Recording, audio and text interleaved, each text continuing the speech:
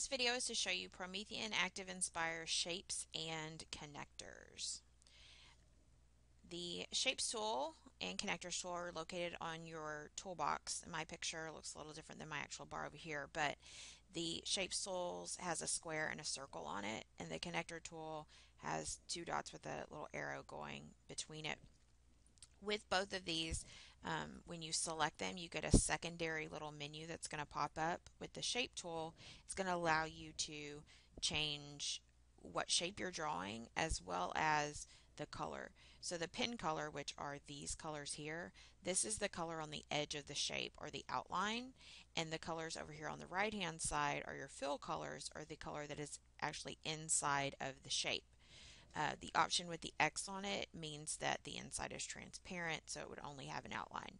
So if I wanted to draw a orange outline with green inside square, I can now draw that. If I want it to be transparent on the inside, now I've got just an outline and you can see the letters come through it.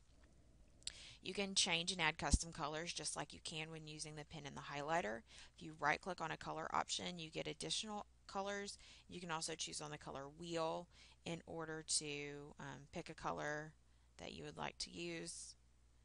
And then now I can, oops, now I can draw a, oh, I gotta select it, one with a purple outline.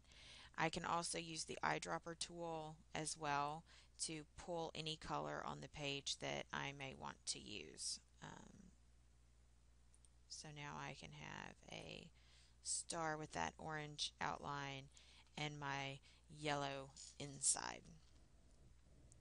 So the shapes also have with them, some of them have different options you can, when you select a shape, you'll notice that the object menu comes up, object editing menu, same as it does whenever you select any other object, but on the right you have the edit shape points.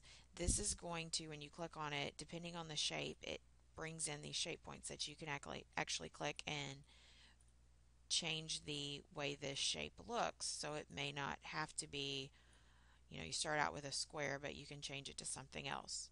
Uh, with the star, you can change how skinny or thick that star is. And you can change these just like you change any other tool. Once you've selected the um, shape and let's say you want to change its color, the paint bucket tool is going to allow you to click inside the shape to change the inside or if you click that paint bucket on the edge it'll allow you to change the inside edge color of your shape.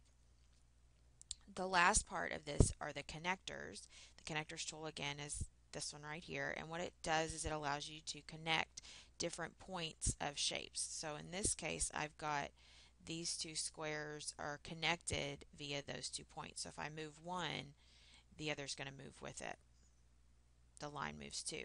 Whereas if I were to just draw a square two squares and put a line between them now if I move one it's not going to move the whole thing with the connector, what you do, select the connector tool, and now I'm going to click on a point. You see when I hover over a shape, it gives me those points, and then I go to another shape and I can tell it which point is actually connected. So now those two points are connected. So this will work good with pictures as well as shapes.